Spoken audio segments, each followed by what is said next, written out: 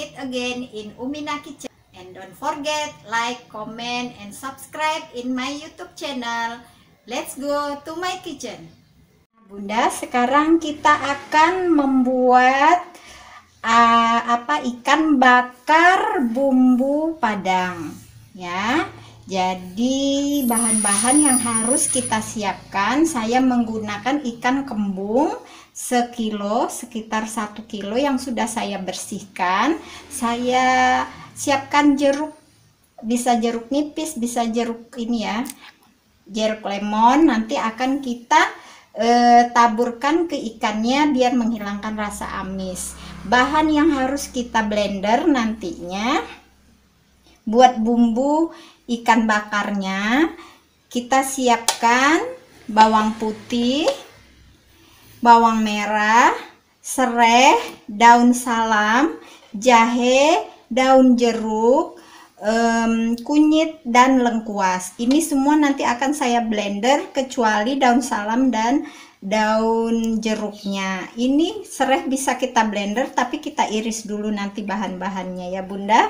Nah tidak lupa tidak lupa juga penyedap rasa dan garam secukupnya ya. Terserah saya menggunakan totole rasa jamur kaldu jamur dan garam.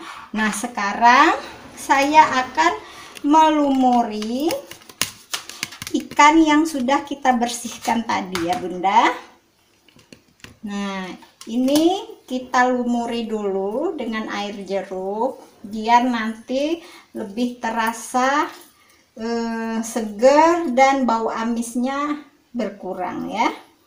Nah, ini bisa kita eh, diamkan dulu. Nah, setelah itu kita aduk biar jeruknya itu merata ke ikannya dan kita tambahkan boleh dengan eh, sedikit garam. Nah jadi selama marinasi nanti eh, biar garamnya meresap ke ikannya ya. Nah ini kita aduk lagi ikannya. Nah boleh juga dikasih sedikit eh, penyedap rasa kalau tidak garam sama jeruk aja boleh. Saya kasih sedikit ya biar eh, rasa amisnya berkurang dengan penyedap rasa juga. Nah ini kita biarkan dulu sementara kita akan memblender bumbu-bumbu yang lainnya ya. Nah ini kita sisihkan. Saya potong-potong. Uh, ini serehnya bunda. Sengaja saya blender biar e, rasanya itu lebih menyerap ke ikan ya.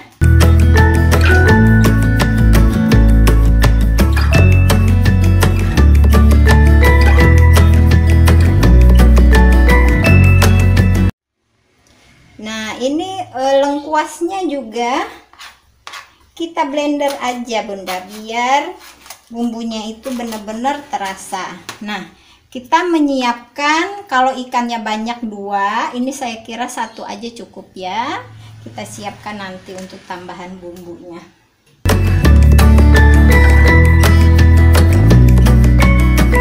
Kunyitnya juga ya bunda ya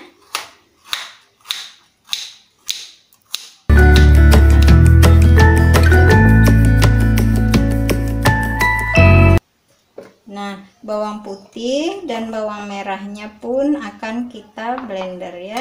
Bagi yang ini besar-besar kita bisa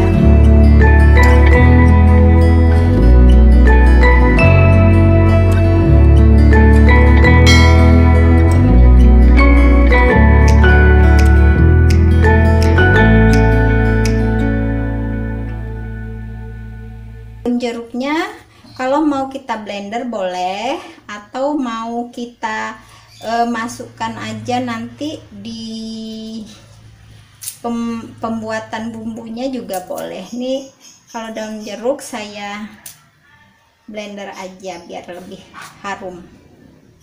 Nah ini ya bunda kita akan blender dulu ya bumbunya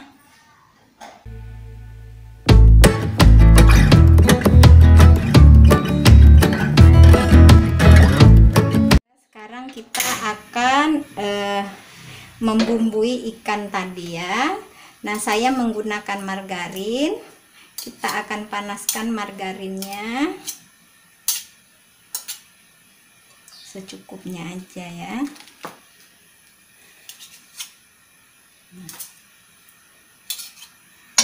Ini akan kita panaskan.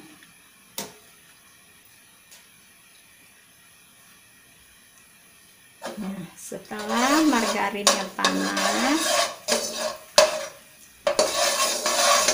kita bisa masukkan bumbu yang sudah kita blender tadi ya bunda. Hmm.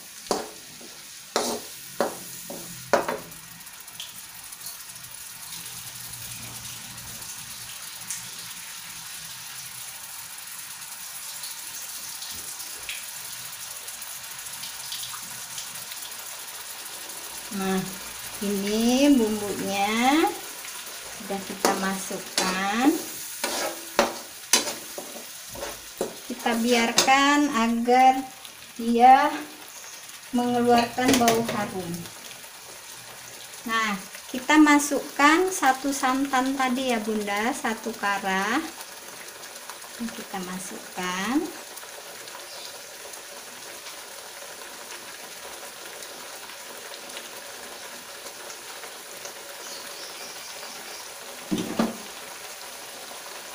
kita masukkan juga daun salamnya. Ini kita aduk rata. Ini saya menggunakan sedikit cabai kalau bunda mau lebih agak pedas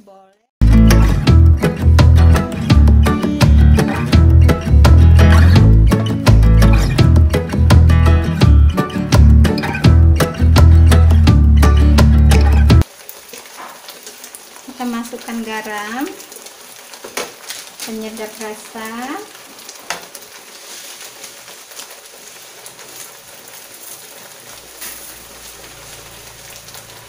hmm.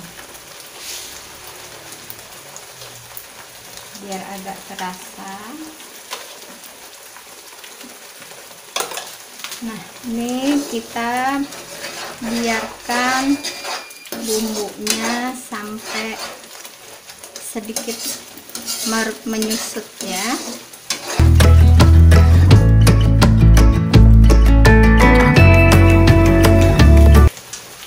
ini saya masukkan perasan jeruk tadi lagi dikit lagi ya.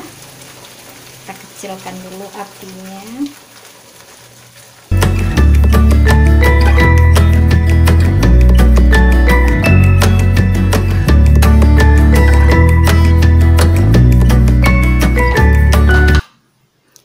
sudah kita rendam ya bunda. Akan kita masukkan ke bumbunya.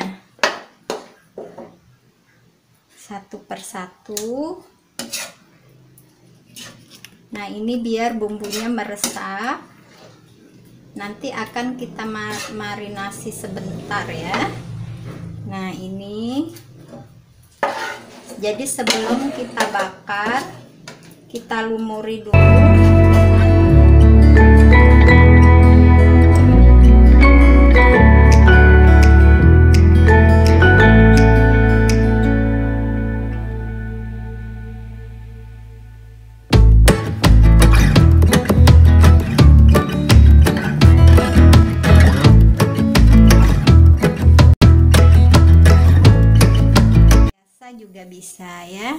saya olesin dulu dengan margarin. Nah kita olesin ya bunda. Biar nanti e, ikannya itu tidak lengket. Nah.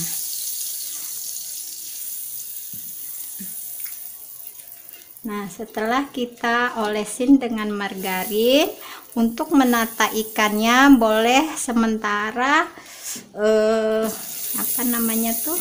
Apinya kita kecilin atau matiin ya. Nah nanti kita nyalakan lagi.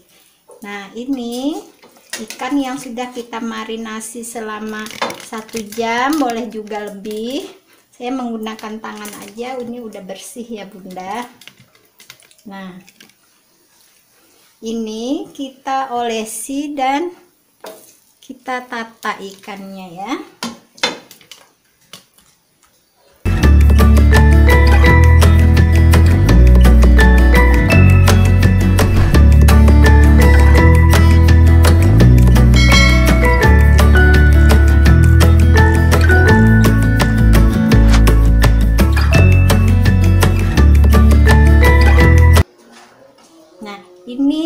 e, bumbunya bisa kita taruh di atasnya ya, Bunda. Ini saya menggunakan tangan aja, tapi tangan saya sudah bersih.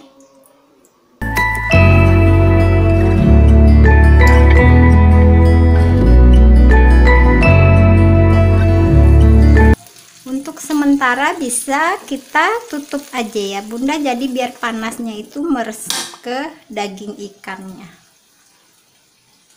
A few minutes later. Nah ini kita lihat lagi. Tadi udah kita tutup ya bun. Nah ini kalau sudah seperti ini yang bisa kita balik kita balik ya. Nah ini kalau sudah bagian satu sisinya matang kita bisa balik. Tapi ini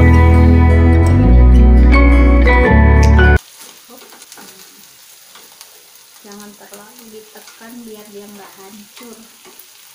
Nah seperti ini. Kalau yang menggunakan pembakar pembakar pakai arang juga bisa ya karena kita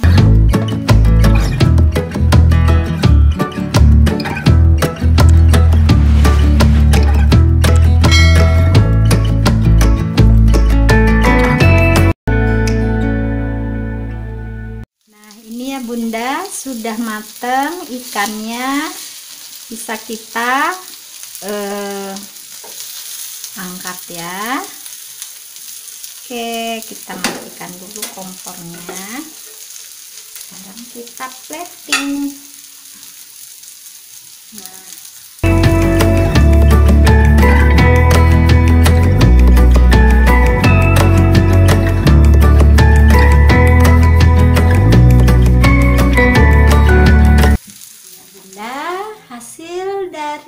ikan bakar bumbu padang atau ikan bakar padang.